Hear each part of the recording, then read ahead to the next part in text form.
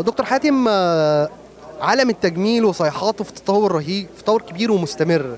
فلو اتكلمنا عن نحت القوام وتجميل الجسم بشكل عام إيه أحدث الصيحات التجميلية فيه؟ والله أنت كل يوم بتلاقي حاجة جديدة. يعني خلاص ال- القطر ماشي بسرعة جدا لدرجة ساعات أنت ممكن يعني تلاقي الحاجة حاجة جديدة. بقت الموضوع بقى موضوع دلوقتي حاجة اللي هي الدايناميك سكالبتشر اللي هو النحت الديناميكي اللي هو إن أنت مش بتيجي تعمل الأنثى مجرد إن أنت تخسس لها منطقة أو تزود لها منطقة معينة. أنت بتاخد كل ال proportion بتاعت العظم بتاعتها كل مقاييس العظم بتاعتها من أول الثدي لحد أطراف القدم وتقسم الجسم ده بحيث إن تطلعه صورة جمالية لتقسيمات المرأة بالنسبة إلى عظمها.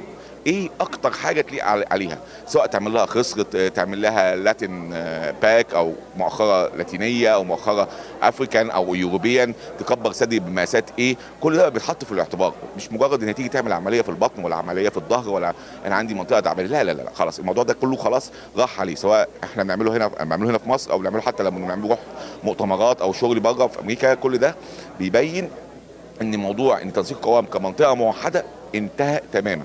بقى الموضوع كله على بعضه بنسميه دايناميك دكتور آه، طب المؤخرات بقت بعدد سبع قارات يعني عندنا أفريقيا وأمريكا. 35 مؤخر- عدد المؤخرات بقى 35 مؤخر 35 35 شكل. 35 شا- شكل.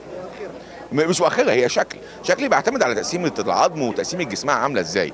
يعني هو لا لا وال Latin ومش عارف إيه وال low low back و high back و high round يعني ك ك كحاجات يعني في أشكال كتير جدا. الفكرة كلها انت بتحط في دماغك تقسيمة العظم بتاعت المراه هي هي وسطها صغير وسطها كبير وعظمها عريض ولا يعني إيه اللي يليق إيه عليها؟ لا لا إحنا فينا نسبة جمال عالية جدا فينا نسبة جمال عالية جدا. يعني ما فيش أي مشاكل ما فيش حاجة وحشة. أهم حاجة تبقى كل حاجة متناسقة مع بعض.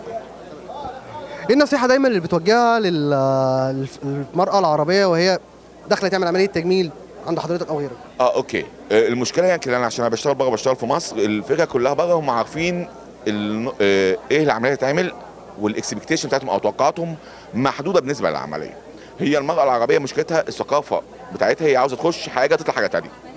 هي فاكره آه، آه، بالظبط كده. هي الفكرة كلها أنا بجمل فيكي أنا تغذي في إيديا قماشه بخيطها على أساس القماشة اللي جاية لي مش بطلع حاجة قماشة جديدة. فأهم حاجة أطلع منك أحلى حاجة ممكنة مش أحولك من واحدة لواحدة أخرى. ده صعب في عمليه التجميل. ودي مشكلة في الدول العربية إن المرأة داخلة فاكرة إنها هتعمل هتتحول واحد تاني. لا أنا مش جاي أحولك أنا جاي أجمل فيكي مش أغيرك لبني آدم تاني.